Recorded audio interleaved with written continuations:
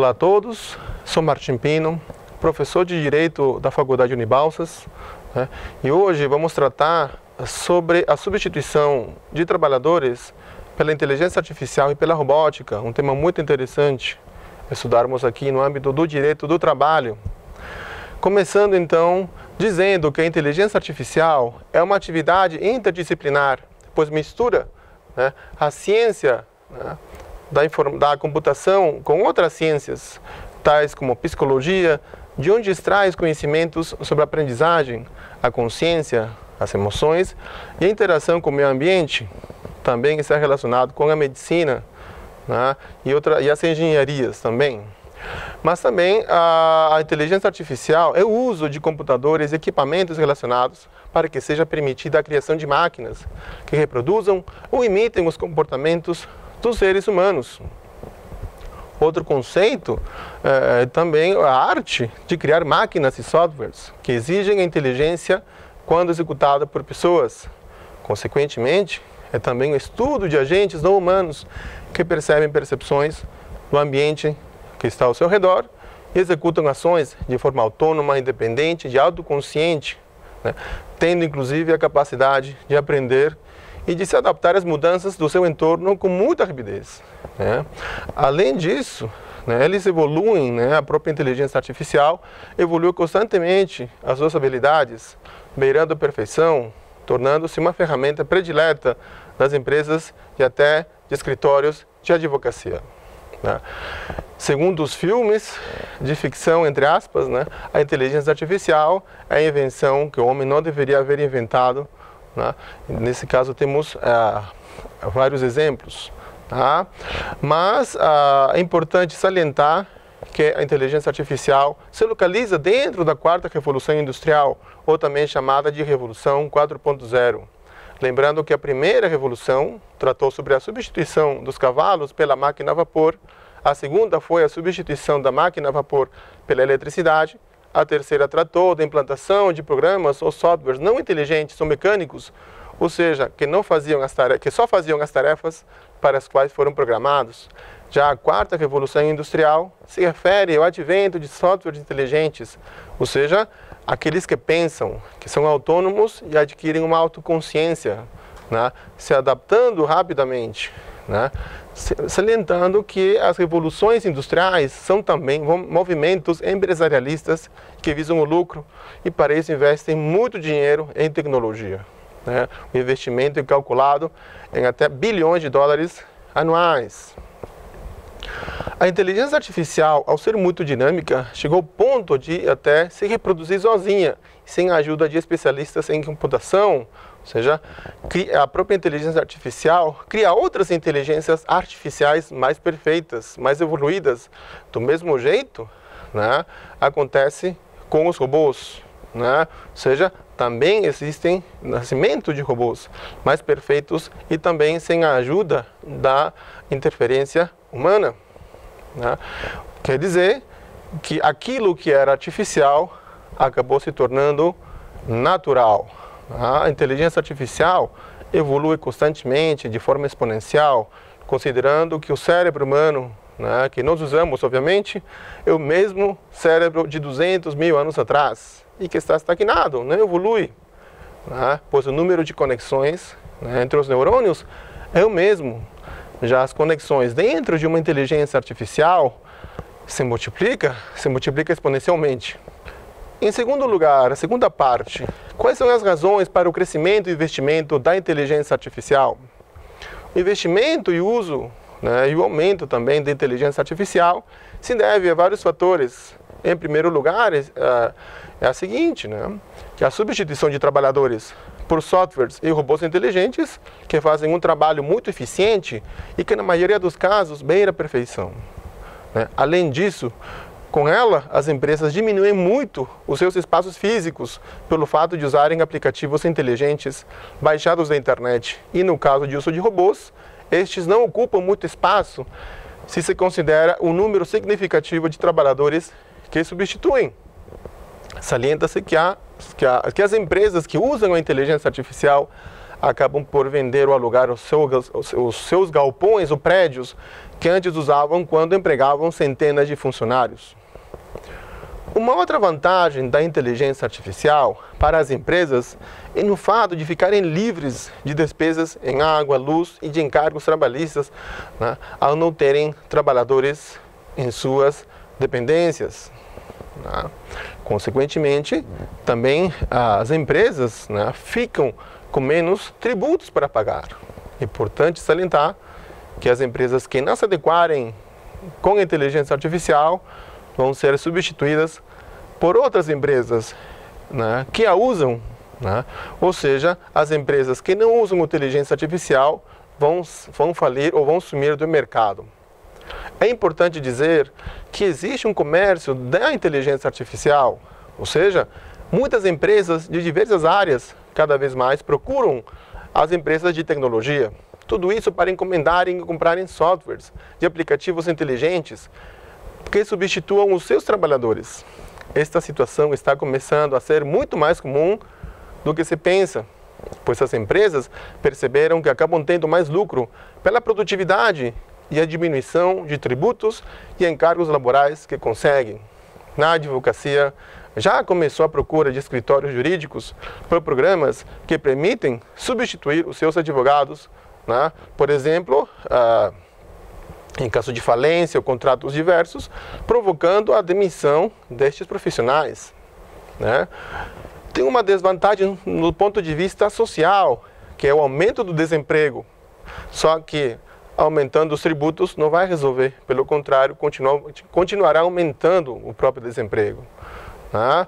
Inclusive, as empresas ah, podem lidar facilmente com a inteligência artificial, evitando greves né, de trabalhadores, pois com, com aplicativos inteligentes as empresas poderão virtualmente operar sozinhas.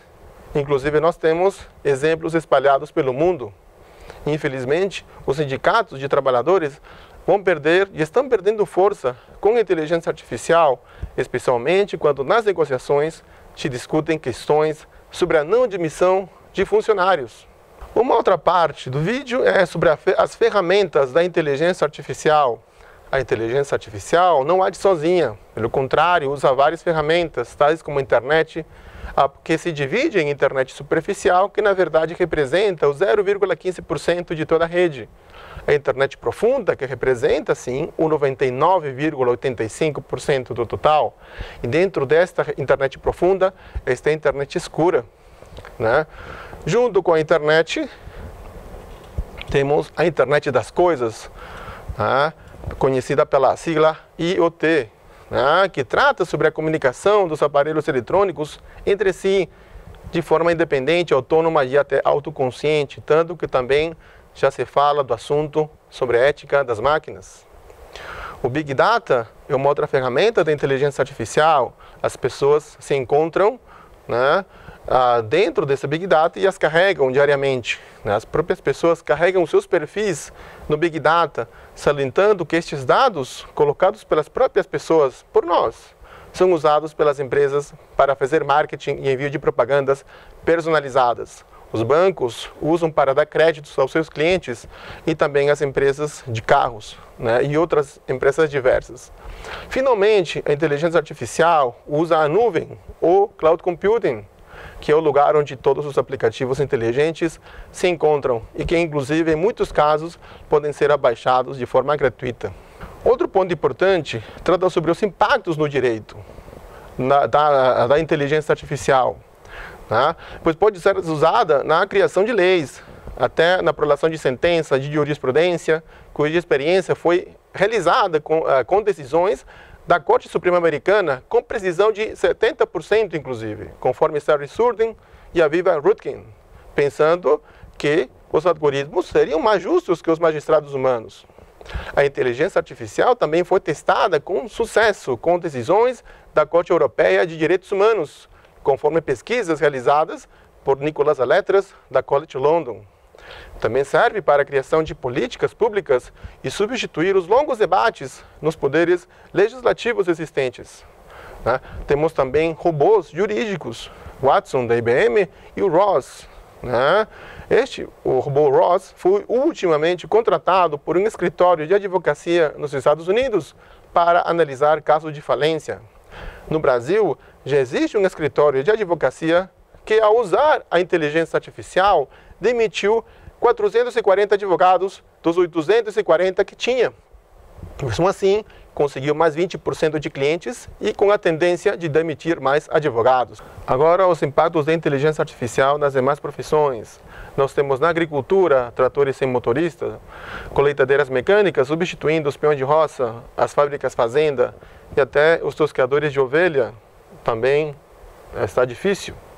Nas fábricas de automóveis, nas indústrias têxteis, no setor de telemarketing, no setor bancário que começou com a implantação dos caixas eletrônicos, demitindo muitos bancários, e agora temos aplicativos diversos, aplicativos inteligentes dentro da internet banking. Né? Temos os entregadores de pizza, os pedreiros, devido às impressoras em 3D gigantes, zeladores, motoristas de táxi, de metrô, de caminhões, de trens, e dentre outros serviços, até os prestadores de serviços estão em risco a prestação de o setor de prestação de serviços também está é, muito complicada a sua situação. Né? E as empresas que não se adequarem à inteligência artificial vão ser substituídas por aquelas que a usam. Sobre a necessidade de uma reestruturação educacional. Interessante esta parte porque, perante esta realidade, existe uma necessidade de uma reestruturação muito radical no sistema educacional. Como um todo, tanto no âmbito privado quanto no público, não só nas escolas, como também nas universidades. Mas isso não é só no Brasil, é na América Latina toda. Infelizmente, todos os países, em todos os países da América Latina, estão criando desempregados. Mas isso já desde o jardim de infância, pois a criança já começa a ser criada com uma, com uma mentalidade retrógrada dentro de um sistema educacional engessado. Irá passar por todos os estágios, sendo provada por uma forma que não será capaz de enfrentar os avanços tecnológicos, mas ainda com a inteligência artificial. Né? Vários especialistas dizem que a inteligência artificial cria profissões novas, mas essas profissões novas né, também somem rapidamente, surgindo outras novas também, e assim por diante. É né? um círculo vicioso. Né? E tudo isso devido aos avanços tecnológicos em geral. Obviamente, incluindo a robótica, né? no seu conjunto. Né? Ah, e outra coisa importante é que não há comunidade perante esta realidade, ou seja, os centros de ensino superior já estão formando desempregados e o continuarão fazendo, ou seja, haverá uma formação de desempregados eternos, mas não porque não haverá empregos para eles, e sim por algo pior, que é porque as profissões né, que estão estudando já haverão sumido do mercado ou entrarão em desuso. E onde ficam os princípios do direito do trabalho? É, referente aos princípios do direito do trabalho, estes não podem fazer nada. Porque justamente são os que vão motivar e motivam os empresários cada vez mais para aderirem à inteligência artificial e assim demitir os seus trabalhadores, né, sendo uh, substituídos por softwares e demais aplicativos inteligentes e robôs. Né, pela sua eficácia, sua rapidez. Né, além disso, esses princípios né, não protegem uh, as máquinas né, e os programas de computador. O inciso 27 do artigo 7 da Constituição Federativa do Brasil diz que há uma proteção do trabalhador em face da automação na forma da lei. Mas essa, na verdade, na prática não existe, pois está mais relacionado com um acidente de trabalho. Além disso, né, a Assembleia Constituinte não pensou em inteligência artificial quando criou este inciso. Atualmente, não existe uma lei que proteja o trabalhador da inteligência artificial. Tá? O empresário tem o direito de ter a sua empresa gerenciada pela inteligência artificial. Além disso, o Brasil né, não ratificou a Convenção número 158 da Organização Internacional do Trabalho, OIT. Né? Esta convenção né, proíbe o empregador de dispensar o seu empregado por qualquer motivo. Só haveria dispensa dele através de motivo lícito. Já os países da União Europeia ratificaram esta norma internacional, né? ou seja, né? é, na União Europeia, ele, é, o empregado só poderá ser demitido por motivo lícito. No Brasil, isso não existe. Isso faz com que o Brasil mesmo neste aspecto esteja desprotegendo o seu trabalhador e fique à mercê da sua substituição por robôs de aplicativos inteligentes. Assim, as fábricas estão sendo mais automatizadas de forma muito rápida, ficando assim livres de muitos tributos e de pagar contas de água, luz e até de comida para os seus funcionários, né, quando estas empresas possuem refeitórios. Muito obrigado por tudo e até logo.